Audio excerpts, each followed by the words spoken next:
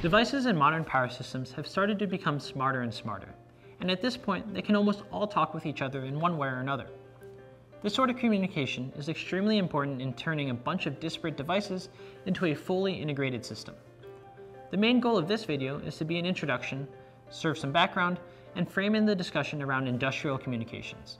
While there's certainly too much to discuss for one video, We'll set the stage for what protocols we use today and why we use them, and then give general guidelines for what you'd expect to see where. Ready? Every device, be it a breaker, a meter, a PLC, or something else, will have a specific way it prefers to talk, or a communication protocol. Understanding how to network two devices is key to building a system, so let's cover some of the basics.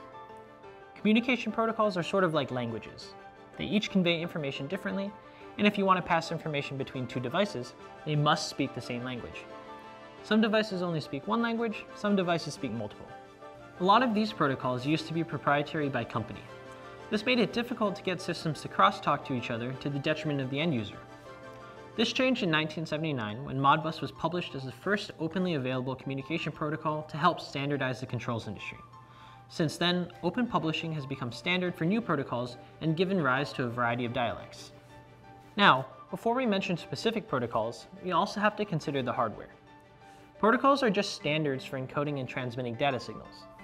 Physical connections like adapters, cords, and ports are the actual wires that carry the signals.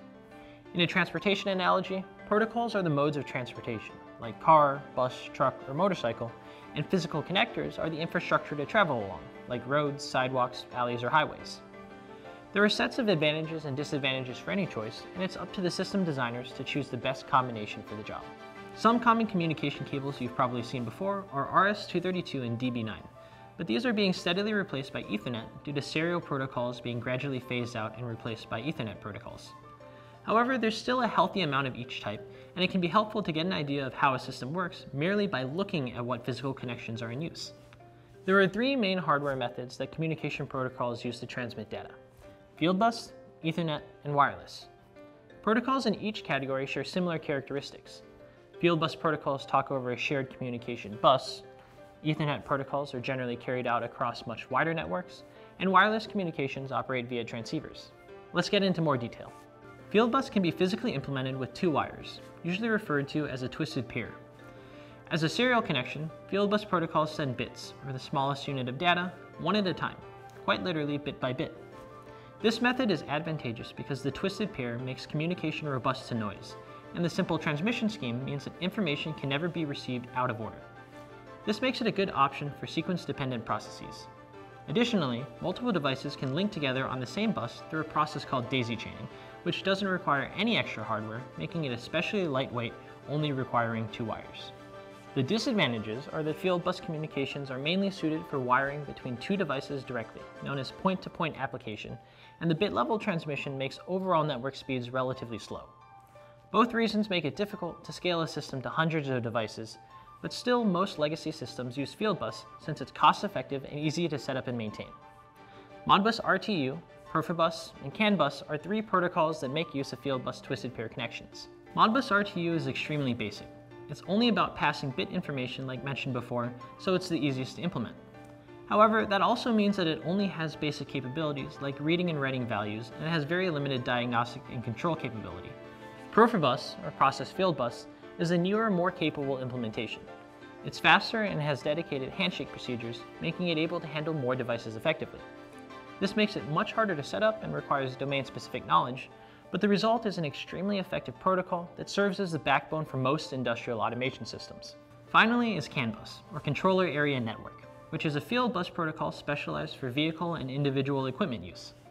It focuses on providing fault-tolerant communications as well as diagnostic capabilities between a smaller network of devices, both of which are necessary in harsh mobile environments like cars. Ethernet transmission is newer and more advanced than Fieldbus and other serial methods, so it has a lot of advantages. This includes speeds that are multiple orders of magnitude faster than Fieldbus, as well as super long distance communication. Inside a cable on the familiar RJ45 connector are eight signal conductors, which traditionally are in four twisted pairs. Interestingly, for anything under gigabit speeds, only two of these pairs are actually used. In more modern applications, fiber optic cables can be used in place of the twisted pairs, offering even faster speeds and noise immunity. The major differences, though, between Ethernet and Fieldbus is how data is sent. Rather than transmitting information bits one by one, Ethernet sends standardized frames, or packets, that can each contain up to 12,000 bits. This sort of information density is suitable for creating networks on which many, many devices can all communicate with each other, either on a local area network or a wide area network. The disadvantage is that Ethernet can't be daisy-chained and requires extra ports to interface, and the extra cabling and support hardware, like network switches, make it much more expensive to implement. Also, due to different packet sizes and transmission distance, in rare instances packets might be transmitted out of order, which can cause serious problems. However, due to how extensive modern information networks are, we still use Ethernet in the vast majority of cases. The most common Ethernet protocols in industrial communication systems are Modbus TCP IP, or TCP for short, Profinet, and Ethernet IP. Modbus TCP and Modbus RTU are cousins, they work off the exact same protocol operating principles, but with Ethernet transmission, Modbus TCP can now send significantly more data much faster. Where Modbus RTU is suitable for device-to-device -device connections with simple data dependencies like breaker to relay, Modbus TCP is much more useful for pulling lots of data from lots of devices. Therefore, it's much more suitable for connecting higher level devices like PLCs to meters or other PLCs. Still though, Modbus is known as a half duplex protocol, all connected devices can both transmit and receive, they just can't do both at once. On the other hand, stepping up from Profibus to Profinet does change duplexity. In addition to the faster speeds and improved connectivity from Ethernet, Profinet is full duplex, which means that all connected devices can transmit and receive simultaneously. This can significantly improve system speeds and precision and makes it possible to manage complex network topologies with multiple controllers interlocked with each other. Profinet is more common in Europe, but in North America, you're more likely to come across Ethernet IP. They have very similar performance and use cases with a couple key differences. Profinet actually manages to resolve the packet asynchronicity problem mentioned before, whereas Ethernet IP doesn't. This precision difference might matter in the most complex environments, but where Ethernet IP shines is its flexibility and accessibility. It's much more open source and a lot of components are available off the shelf. This level of standardization means that it's incredibly easy to build, develop, and modify Ethernet IP systems. If you've ever set up your home router, then in fact you've done this too. It's worth noting that in some North American industrial environments where precision matters more, there's another variant called EtherCAT that uses a unique clock and distribution system that allows for faster, more precise operation. Finally, we have wireless communication, which can take the form of any transmitter and receiver, like cellular, satellite, etc. Many residentially familiar protocols exist, like Bluetooth, Wi-Fi, and Zigbee. However, there's been difficulty adapting them to industrial use, where speed, precision, and reliability cannot be compromised. There are many different options, but they'll almost always be limited to lower power, less critical applications. One niche that wireless communications have found great success in is with utilities. The main communication protocol in these cases is DNP3, or Distributed Network Protocol 3. Originally, DNP3 was designed for wired TCP IP, but it also particularly suits the needs of utility companies, who would have thousands of distributed meters and require low frequency sampling. Geographically, utility equipment may be spread across thousands of miles, so running physical wire isn't always feasible. To make the process more efficient, these setups are typically installed as mesh networks, meaning that one master station sends commands to several surrounding stations, who can in turn relay that message to further stations down a distribution tree. Secondly, utility communications are more focused on metering, leaving the device level automation to handle any system faults. This means that latency isn't as much of an issue, and oftentimes demand data may only be pulled once per 15 minute window. For actual system automation, sites will use local wired communications to ensure that nothing goes wrong, and wireless communications can be reserved for remote monitoring. These are core concepts in supervisory control and data acquisition, or SCADA schemes, in which one site oversees a large network of others. Although there's no ironclad rule on what devices use what communications, understanding the advantages of each protocol like this gives a general guideline for what to expect.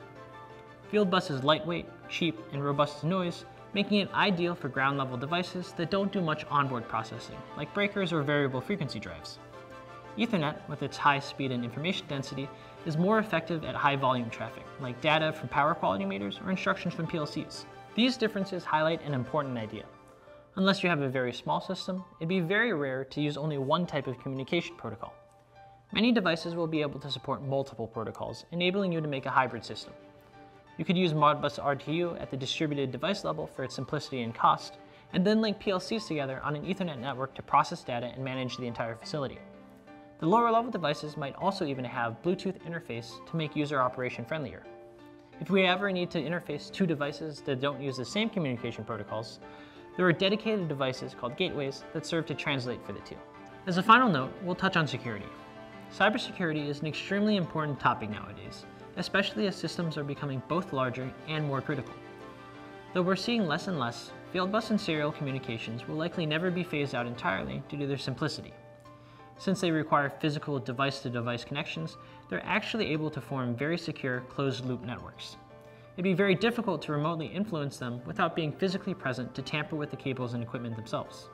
Although Ethernet has speed and distance advantages that let it set up massive networks, this also introduces risk. More devices equals more vulnerabilities, and a remote connection to a single unsecured device could have the potential to damage an entire network, which could affect millions of devices. Eaton proudly collaborates with UL to develop testing requirements for listings like UL 2900 and new certification for setting cybersecurity standards. Additionally, all relevant products align to IEC 62443 standards in order to pass on ease of mind to customers as we push technology forward. That was a lot of information, so let's quickly summarize the key points. Fieldbus and Ethernet are the two primary platforms that communication protocols are built off of. Fieldbus is a methodology that's lightweight, cost-effective, robust, and secure, making it suitable for low-level devices like breakers. Common Fieldbus protocols are Modbus RTU and Profibus. Ethernet, on the other hand, can handle large quantities of information very quickly, so it's more suited for higher-level devices like controllers. The most common Ethernet protocols are Profinet and Ethernet IP, though there are a lot of different options available. To learn more about communications and see them implemented in real systems, Contact us or your local Eaton representative to schedule a visit to one of Eaton's Power Systems Experience Centers today.